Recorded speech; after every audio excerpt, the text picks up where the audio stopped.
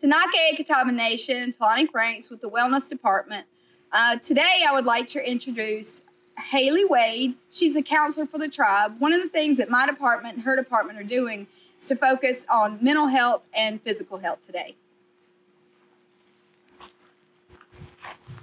Tanaka, everyone. Haley Wade here. So we're on the Catawba Reservation, like Talani said.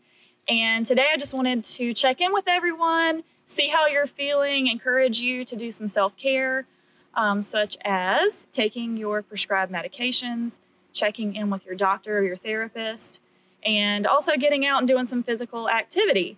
So, one of the things that I wanted to um, kind of teach you today is a really simple mindfulness activity.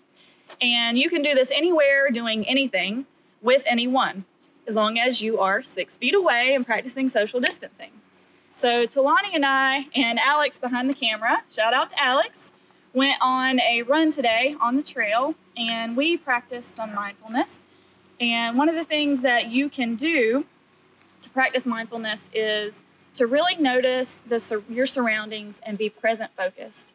So, one of the things that we noticed along our trail run was the sound of the water as it rushed by us on the shoreline, or the sound of the leaves crunching beneath our feet, or the way that um, the breeze feels on your skin.